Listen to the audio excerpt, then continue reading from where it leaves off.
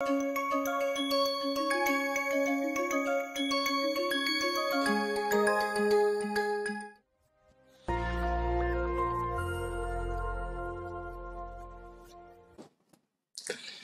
everyone. In the previous lecture, I introduced a topic called positron annihilation spectroscopy, which is a nuclear probe technique to study electron momentum distribution and also the defects or pore size in different types of materials. Now I will discuss another technique which is uh, another nuclear probe technique. In fact, this is more like Mossbauer spectroscopy, wherein we study the gamma, angular correlation between two gamma rays and determine about the electric field gradients, electronic environment in different types of materials. So in this particular lecture, I'll introduce the topic of PAC, then the theory of behind the perturbed correlation, what is the instrumentation for perturbed correlation, what are the requirements for a particular radioisotope to be used as a probe for PAC, and some of the applications of PAC. Okay, so just let me introduce what is the technique of perturbed angular correlation. Perturbed angular correlation, essentially, let us first understand the angular correlation. Angular correlation between two gamma rays. Suppose you have a isotope undergoing beta minus or beta plus decay. So AX goes to AY by beta minus, rather A plus 1 X by beta minus, no, no it to be AY only, Z plus 1 Z. So this particular decay scheme is for a beta minus emitting radioisotope and if it has got a cascade of gamma rays, so you have gamma 1 and you have gamma 2, the gamma ray will have their own multipolarities like magnetic dipole, electric quadrupole and so on. These are the spin states of the three levels, the ground state and the excited state. Then this gamma ray, uh, these two gamma rays will have a definite angular correlation between them. What I mean by angular correlation? You have a source here and you put two detectors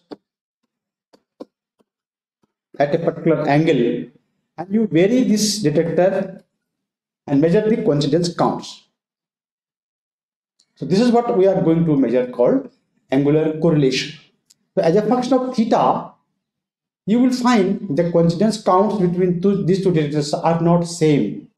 Depending upon the spin states of the three levels, you may have low counts at 190 uh, and higher counts at 180 or vice versa. It depends upon the angular momentum of the spin states and the multiplicity of the gamma rays. So this is called the angular correlation and this angular correlation is used in finding out the spin states and multiplicities of the gamma rays. The expression for this angular correlation function double theta it depends upon the this AKK are called the directional correlation coefficients. They are the lateral 3J symbols, the Clebsch-Gordan coefficients between II, L1, I for one first radiation, I, L2, IF for the second transition. So that one can actually calculate using angular momentum coupling. And pk cos theta is the Legendre polynomial of k alpha. So this is the general angular correlation between two gamma rays. But if you have certain conditions in a probe, that is the intermediate level has got a lifetime more than about one nanosecond and it has got a spin, spin more than half, then it will have certain quadrupole moment, electric quadrupole moment. So these are the two conditions. The intermediate level should have spin more than half so that it has got a quadrupole moment and it has got a tau lifetime of the order of nanoseconds. Normally lifetime will be picoseconds, so then it is of no use. With these two conditions, you will find that the electric field gradient around this, suppose you have a metal atom and you have, it is coordinated to different ligands and you have a crystalline matrix.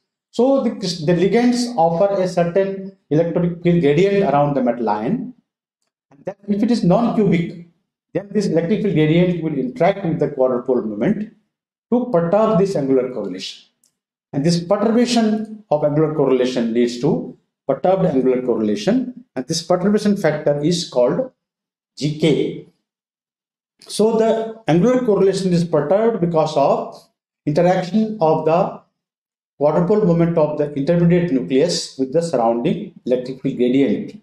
It can also change by interaction of the magnetic dipole moment of the nucleus with the surrounding magnetic field. There are magnetic materials, so there the magnetic dipole moment will come to picture.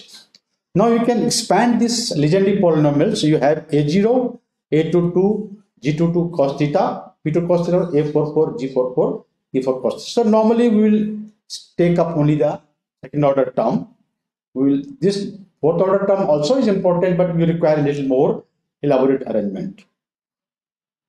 So let me go into little more details about the theory of angular correlation and try to give you an example of a probe atom which is a beautiful nucleus for perturbed angular correlation. 181 hafnium. 181 hafnium you can produce by 180 hafnium, 180 hafnium and gamma gives you 181 hafnium and this 181 hafnium undergoes beta minus decay the half-life of 42 days to the excited states of 181 tantalum. So half plus state goes by 133 keV gamma ray, it goes to 5 by 2 states and by 482 keV gamma ray go to 7 by 2 state of 181 tantalum. Now you can see here this intermediate state has a tau of 10.8 nanosecond and has got a spin of 5 by 2 plus. So it has got all the parameters, nuclear parameters, uh, which is make it conducive for rectangular correlation. So what happens?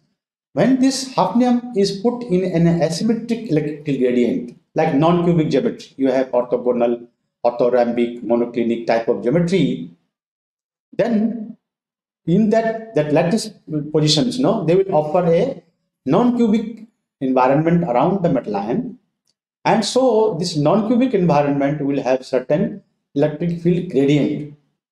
So this electric field gradient i will explain here.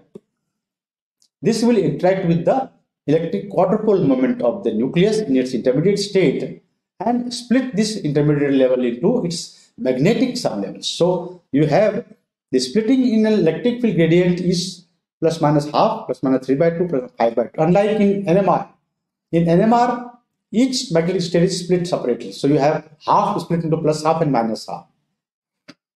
So magnetic splitting of this level will give you six levels. Plus minus half separate levels, plus minus 3 by 2, plus 5 by 2. But electrical interaction splitting will give you only three levels. Now, so this, so when you have first gamma emitted to this, they are populated in a certain way. So when we say perturbation of angular correlation, essentially the population of these magnetic sublevels had changed because of that perturbation. So essentially what we have to do, you have to solve the Schrodinger equation for the this quadrupole interaction or magnetic interaction. You have to have the Hamiltonian containing the quadrupole moment and the electrical gradient or like you say mu dot h for NMR. Similarly, for Q dot Vz, Q not dot product, this quadrupole moment and electrical gradient are tensor quantities. So you have to solve the Schrodinger equation to get the eigenvalues and their amplitudes. So you have the transitions among these magnetic sublevels W1, W2, W3 and their amplitudes are this SKN coefficient. So you have here the angular correlation function a0 plus A22 G2 P2 cos theta, where G22, the perturbation factor, is a sum of coefficients, Skn coefficients are the amplitudes of the frequencies and cos omega nt. Omega n, n equal to n equal to 1, 2, 3 or omega 1, omega 2, omega 3. If the electric field gradient is axially symmetric, axially symmetric means this eta value, axially asymmetry parameter, if it is zero, we say electric field gradient is axially symmetric, that is Vxx is equal to Vyy. In that case, these omega values are integral multiples of omega 1, that is omega 2 is 2 omega 1, omega 3 is 2 omega 3 omega. In that case, the frequency can be given in terms of EQ VZZ. VZZ is the electric field gradient upon 4i to i minus 1, where VZZ is the second derivative of the electric field gradient, that is delta 2 V upon del Z square. So you essentially what you are getting is the electric field gradient VZZ if it is axially symmetric and if it is axially asymmetric then you get this parameter asymmetry parameter which is tells you what is the asymmetry in the electric field gradient. So finally, the parameters you get out of TDPAC are asymmetry parameter and quadrupole interaction frequency. If each asymmetry parameter is not zero, that means if it is not actually symmetric, then the omega n's are not integral multiples of omega 1. They are dependent upon the eta. So this was the theory of PAC you can go through the book on perturbed angular correlation and investigate, understand more of it. Now, the instrumentation for PAC is similar to the lifetime spectroscopy for positron spectroscopy. You have you to you have to have actually three detectors. I have shown two detectors. The sodium iodide thallium detectors can be used. So one and a half inch by one and a half inch sodium iodide thallium coupled to PM2 PM tube and a preamplifier. Then you take the anode output for timing and through a set of constant fraction discriminator delay that becomes the stop signal of the time to converter and same is from the other side. The energy, you take the dynode output for amplifier, get the gamma ray in here and you generate the fast coincidence signal from here this fast coincidence will strobe the TAC. What you get in the MCA, you get the time spectrum of an MCA. And you will have, if you have one more detector here, then you will get two time spectra, one for 90 degree, one for 180 degree. So basically you require to get this W theta as a function of time. Since you are doing time differential, as a function of time, you, are, you record the time spectra and you, they will find if, if it is if there is a finite electric field gradient, then you will see on the normal exponential there will be oscillations because of that perturbation. So this you fit into the function w theta t into uh, this function and you get then g22t which is shown here.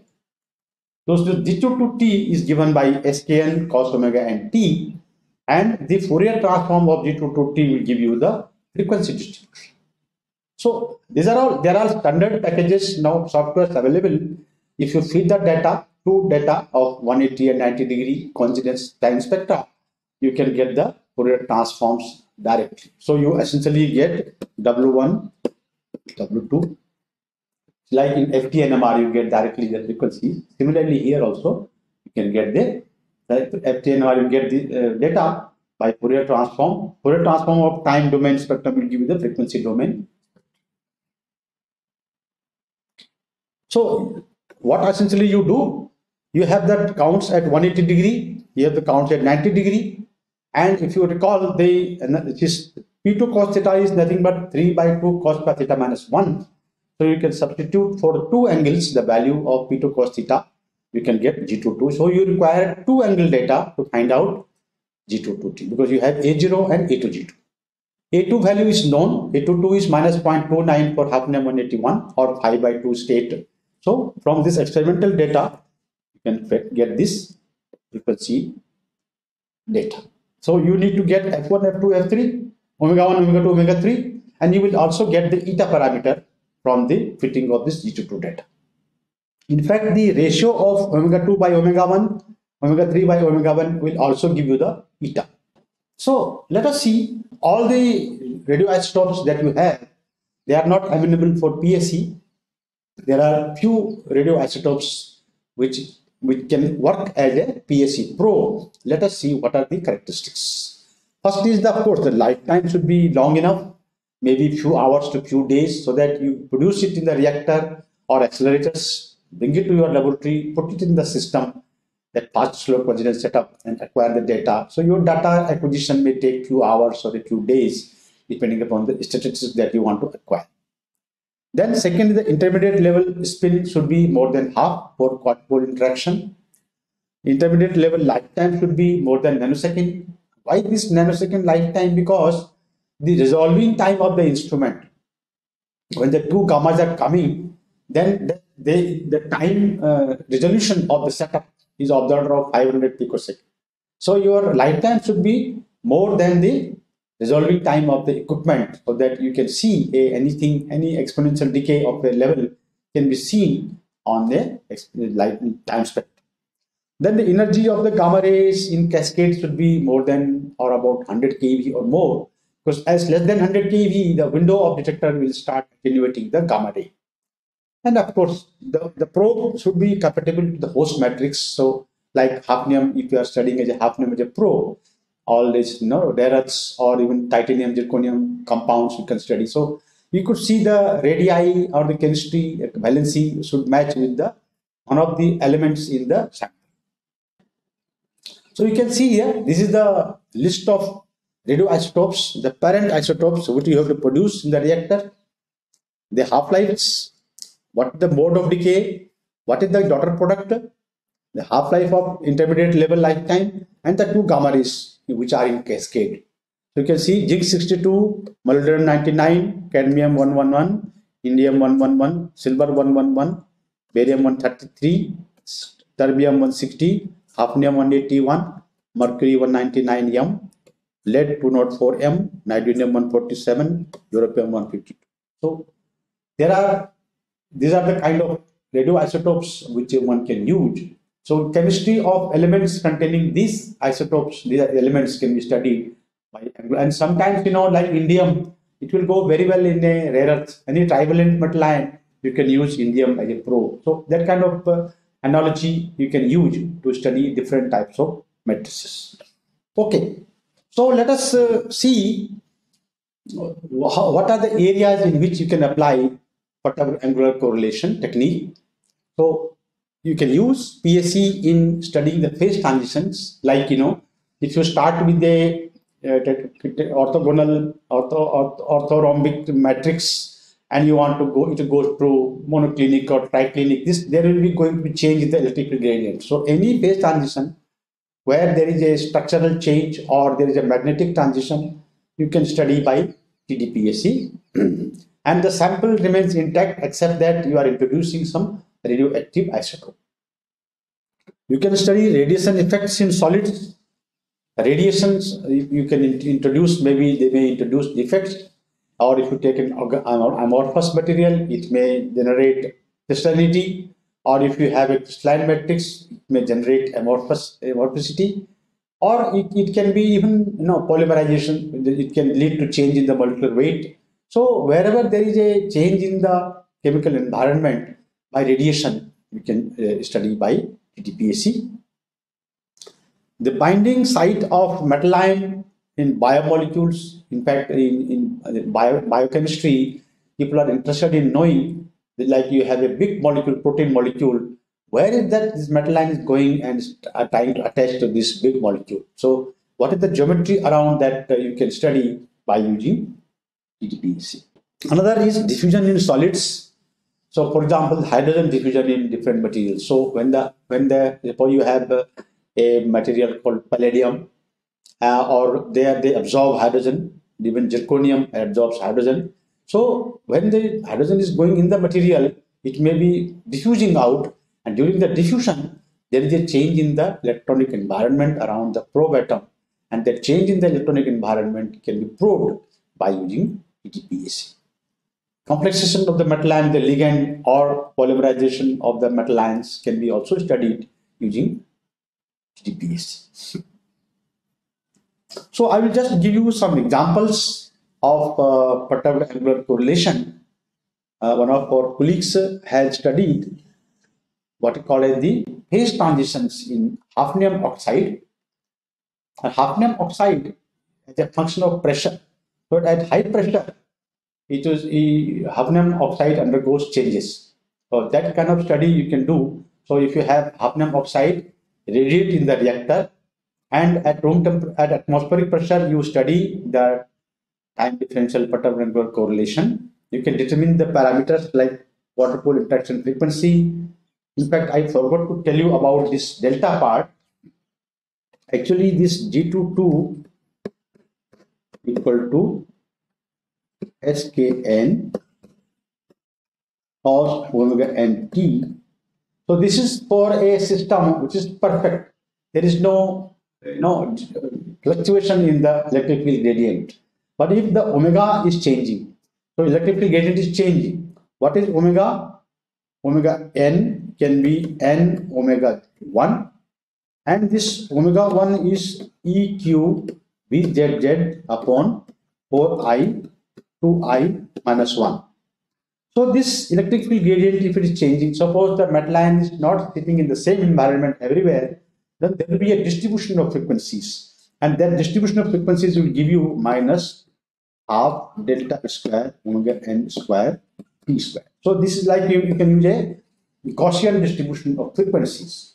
So this delta is the distribution in the frequencies percentage. What is that? Like 0.054 into omega.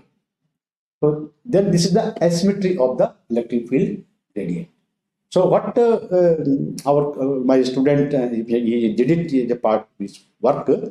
So at atmospheric pressure, this is the kind of data you get, and then you apply you put this hafnium oxide in a diamond anvil cell, and then study. So at 40 gigapascal, 45 gigapascal, you can see that the quadrupole interaction parameters, the frequency, the delta value, and the asymmetry parameter have been changed significantly.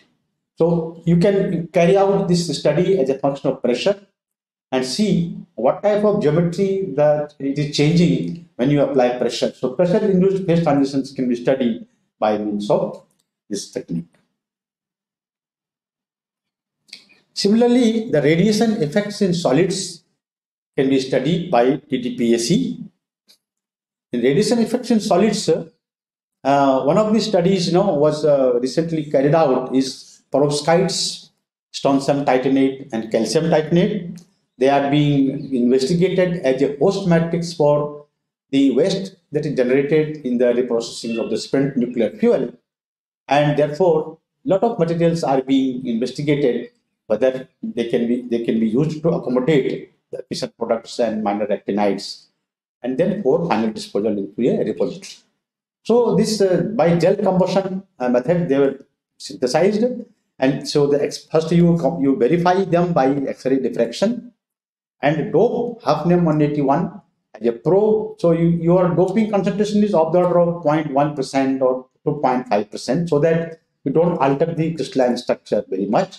And of course, titanium, the hafnium, you can go and sit in the place of titanium. So uh, their ionic radii are very close.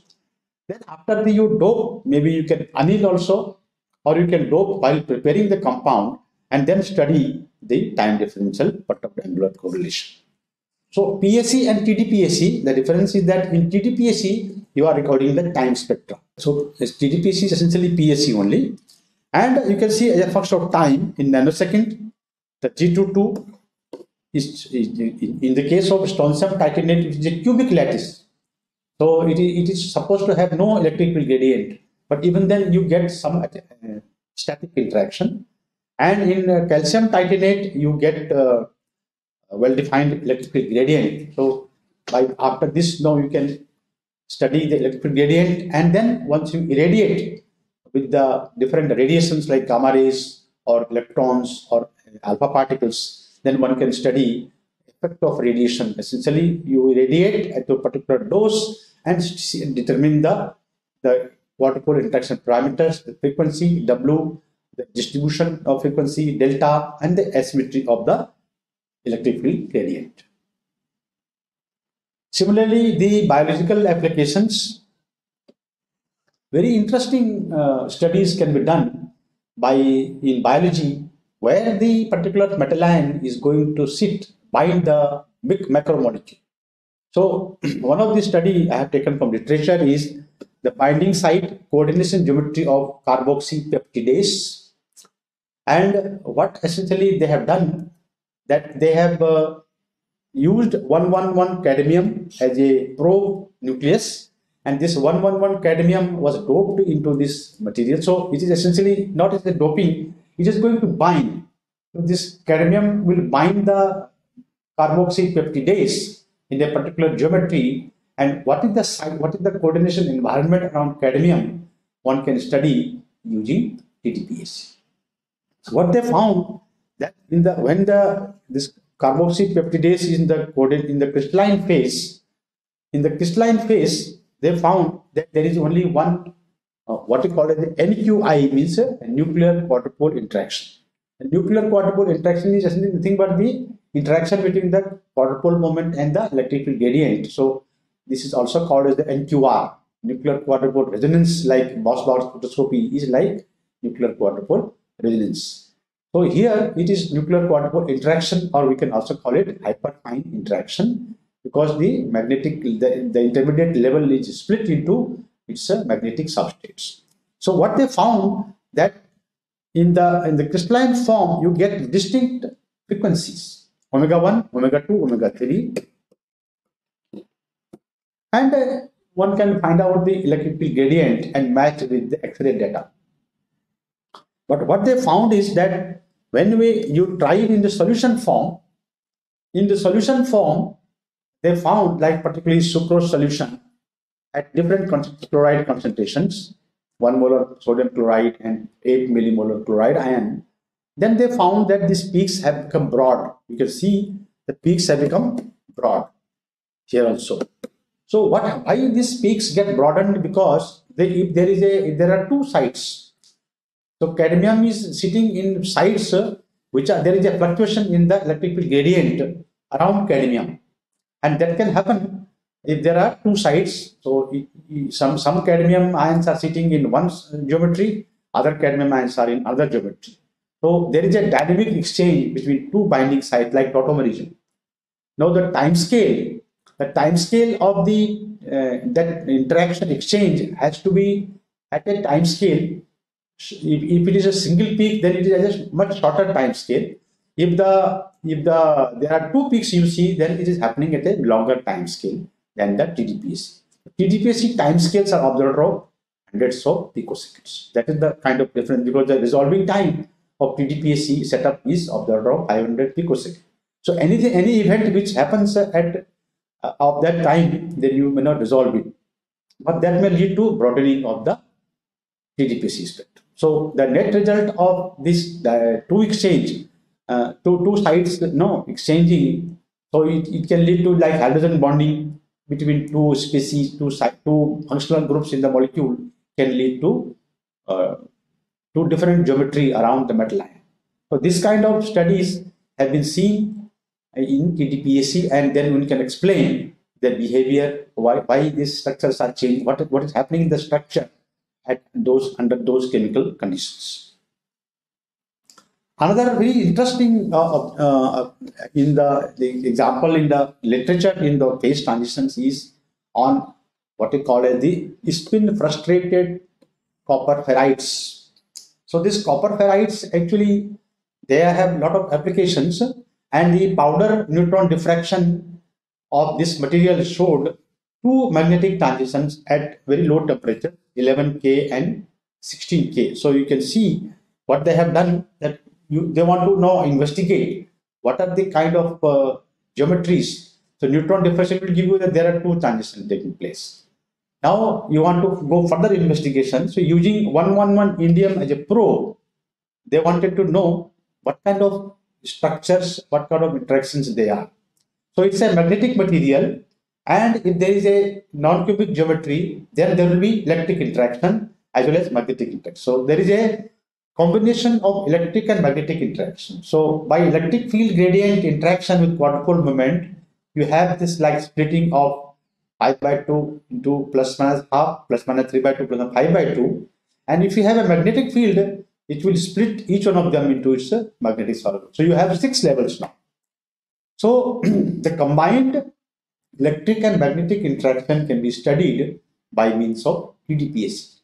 So what they found at suppose for example you have the room temperature data and uh, somewhere at 4.2 there is a broadening in the so this 11 11k Kelvin is, uh, is somewhere in the middle of the two and so they uh, essentially try to study the as a, uh, when there, there is a transition so there is a phase transition between the in the these materials. So what is happening to the structure? The structure could change or the there could be changing the because of the magnetic interaction. So this interplay between the electric and magnetic fields can lead to this phase action. So what they actually found that the weak weak component between the two electric and magnetic was going to broaden the frequencies of the stronger component. So these are the kind of studies uh, people have uh, studied using TDPAC. So there are innumerable examples one can take up. I was I just wanted to illustrate that if you know if you know that the fundamentals of TDPAC or positron spectroscopy, and if you are working in an area where you know special information you want, then by setting up these instrumentations, you can go for studying the processes chemical environment around the metal ions and you it requires a bit of nuclear instrumentation. So you require to have the proper knowledge of detectors the energy resolution time resolution. If you set up the system and have a good data acquisition system then you can study different areas in physics and chemistry. So that is what was the purpose of these lectures that it induces you to take up the, in nuclear chemistry, what are the areas in which one can take up research problems for investigation? And they are not done in isolation. If we have TDPAC setup or a positron setup, these are already, you know, you, you need to have the complementary information from other techniques. So you combine the information from other techniques like XRD or other techniques and use this data to obtain a complete picture around the, about the system. So Depending upon the application you have or depending upon the problem you want to understand, one can choose different type of techniques and Positron and PAC provide such avenues for you. So I'll stop here. Thank you very much.